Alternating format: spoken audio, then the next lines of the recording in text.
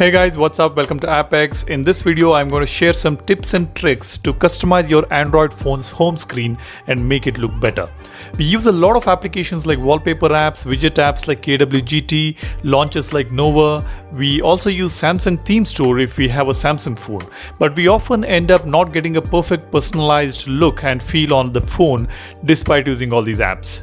In this video, I will share some tips to get the best out of what you do to customize the home screen on your phone. Alright, if you are new here, make sure you subscribe to the channel and be a part of AppX community. And yeah, don't forget to hit that like button. That is going to encourage me a lot. Now let's get rolling. The first tip is to blur your wallpaper. On the home screen for your widgets to stand out, you can blur your wallpaper by using a simple application called Blur Wallpaper. I have left a link in the description below for you to download it. You can easily set the extent of blur on the wallpaper you have already applied. Like you can see here, I have blurred the wallpaper 50% which makes the widget on the home screen look much better. If you really want to see a clear wallpaper or if you want to see all the contents on your wallpaper then you don't have to do this. Anyways, just try doing this and let me know your thoughts. The next tip is regarding setting your icons on the home screen. Generally we go with Nova Launcher which is a very versatile launcher on Android platform and allows you to customize loads of things on your phone's home screen.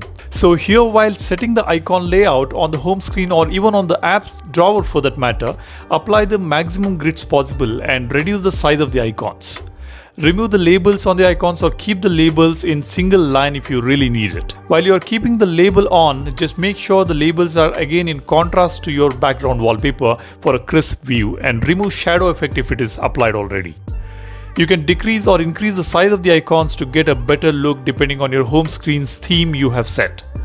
If you keep all these settings in mind, you can make your home screen look much better. Next one is setting a limited number of home screen on your phone, maybe 2 or 3 max. First home screen with some beautiful widgets and basic applications like messaging, calling and a couple of more which are essential and keep the rest of the icons you need on the second page or maybe you can extend it to the third page as well. This makes your home screen look elegant and uncluttered whenever you unlock it. When you have more space on the home screen, add multiple widgets like weather, search engine, calendar, etc.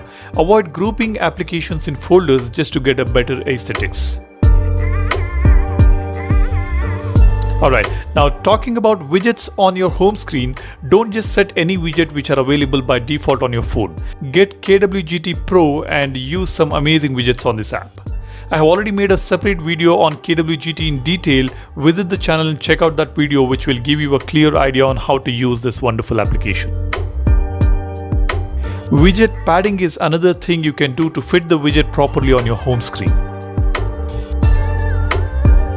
The next step is on using the right wallpaper. Make sure you apply a wallpaper which is in contrast with your widget color. You can also keep a plain background for the widget rather than having a cluttered design. This makes the widget look clean and beautiful.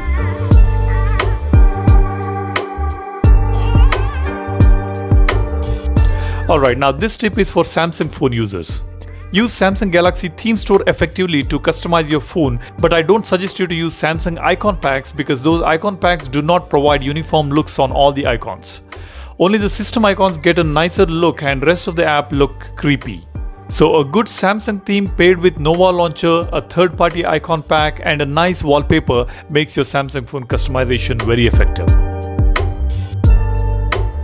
The last tip perhaps you would already be knowing but if you don't know here it is.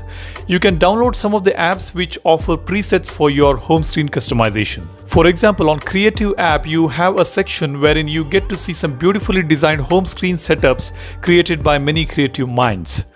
These presets display the details of items used on those setups as well. We've got another app called 14KLWP Ultimate which offers some premium setups at a cost. These apps will make things easier for you. But if you have a creative mind, I don't think you need these applications at all. Right, I have shared about 7 tips over here. I request you to share your tips and tricks to get best looks on your home screen. Let's share each other's thoughts in the comment section below. Uh, when we exchange ideas, we get to know a lot of new things to do on our phones. I'm done here. Thanks a lot for watching the video. If you have not subscribed, hit that button and leave a like for this video. I'll catch up with you in the next video. Cheers. Bye bye.